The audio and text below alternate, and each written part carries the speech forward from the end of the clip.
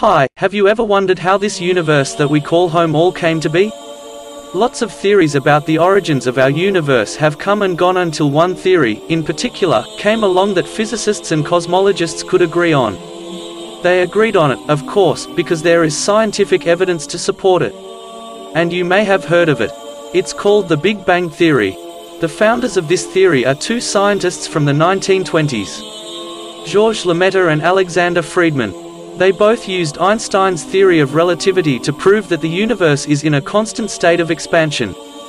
Then in 1929, the American astronomer Edwin Hubble confirmed this theory again after observing evidence that virtually all clusters of galaxies appear to be moving away from all other clusters, which also indicates that the entire universe is expanding.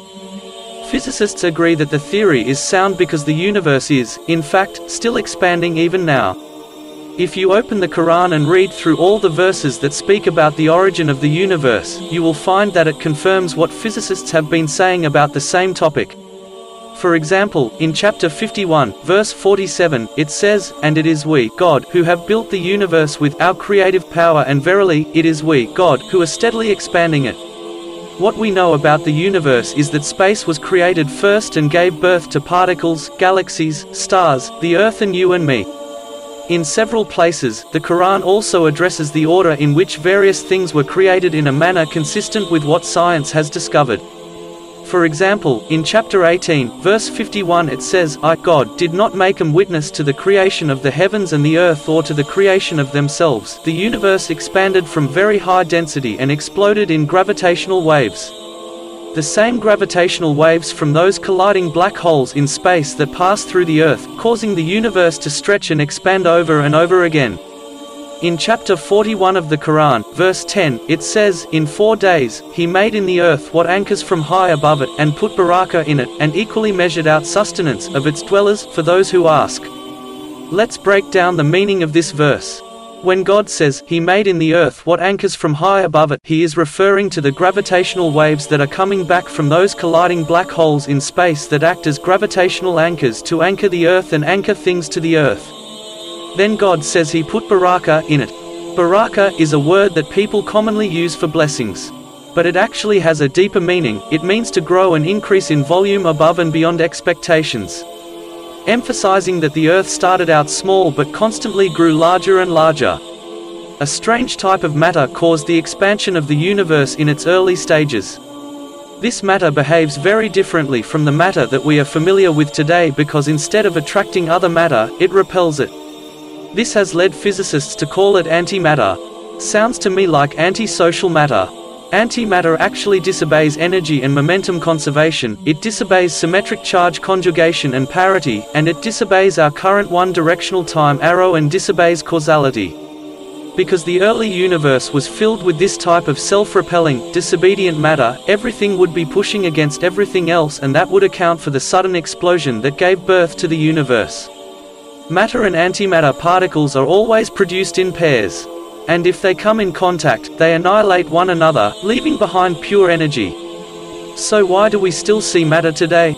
As far as physicists can tell, it's only because, in the end, there was one extra matter particle for every billion matter-antimatter pairs. After that, the first stars began to form. They formed from the dense gas of the young universe, which came about when a cloud increased in density and then collapsed due to the action of the gravitational pull of gravity. The gravitational pull of gravity managed to anchor more and more matter from the collapsed cloud, resulting in the densest gas clumping and anchoring together, which eventually led to the formation of stars and even galaxies. The formation of stars then paved the way for the formation of everything else in our universe. You see, when a massive star, with a mass several times that of the Sun, reaches the end of its life, it compresses and explodes as supernova. And it appears that exploding stars or supernovae are extremely efficient at producing the dust or first solid particles that later forms Earth, like planets, rocks and people. Verse 11 of that same chapter in the Quran addresses these points when it says, Then he directed himself to the heaven while it was smoke, and said to the heavens and the earth, Come into being, willing to obey or disobey. They both said, We are willing to obey.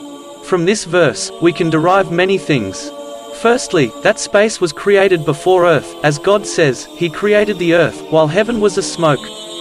When God says while it was smoke about the heavens, it's confirming scientific beliefs that the smoke resulting from the exploding stars or supernova existed in space for a long time, before forming the rocky embryo of the Earth.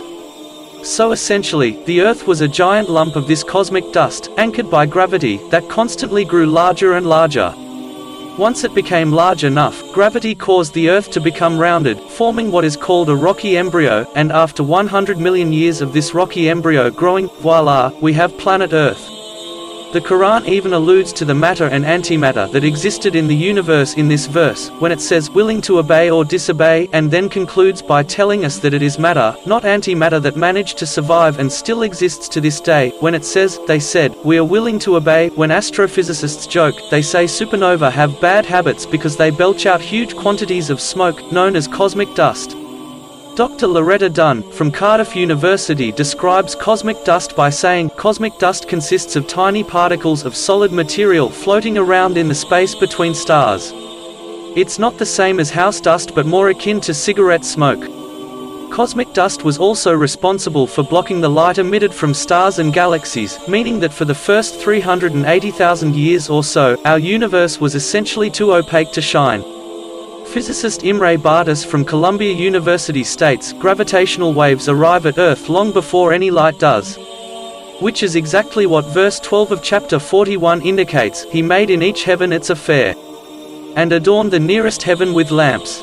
By using the lamps as an analogy for light, this verse reflects the fact that the universe was in darkness in its early stages. It further reflects the sequence of events we discussed earlier, as God mentioned what anchors, first then mentioned the light, implying that gravitational waves arrived at Earth long before any light did, just as physicists such as Imre Bartos would confirm, over 1,400 years later. We've all heard of the Big Bang Theory, but what exactly is it all about? In this episode, we explain the sequence of cosmological events that lead to Earth's creation, and point out the specific verses in the Quran that tell us how the universe was created.